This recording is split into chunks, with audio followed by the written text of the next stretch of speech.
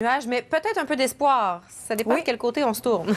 Exactement. À plusieurs endroits, oui, de belles percées de soleil pour demain, mais à certains endroits, pas impossible d'avoir euh, des euh, petits flocons tout au long de la journée. Mais tout d'abord, à très court terme pour cette nuit, je vous dirais que c'est partiellement dégagé, à l'exception de là-dessus qu'on aura vraiment un ciel très couvert, euh, pas très chaud non plus. On parle de, de minimum de moins 10. Trois-Rivières, même chose pour Deschambault, moins 12 secteur La Tuque, un peu plus confortable. Masquinongé, on parle de moins euh, 6 pour euh, cette nuit, moins 8, moins 9 pour le centre du Québec. Alors là, vous verrez pour demain, jeudi, il y a beaucoup d'instabilité dans l'air, du moins côté temps. Alors oui, des nuages vraiment partout, peut-être de belles éclaircies tout au long de la journée, mais je vous dirais que les nuages seront vraiment en avant-plan. La bonne nouvelle, c'est que euh, sur la plupart de nos secteurs, les risques de précipitation sont très, très minces mais un petit peu venteux aussi. Alors, vous le voyez, euh, des minimums sous les, euh, les maximums plutôt sous les normales de saison, moins 1, moins 2 pour le secteur de la Mauricie. Si on se dirige maintenant pour le centre du Québec, on parle de zéro.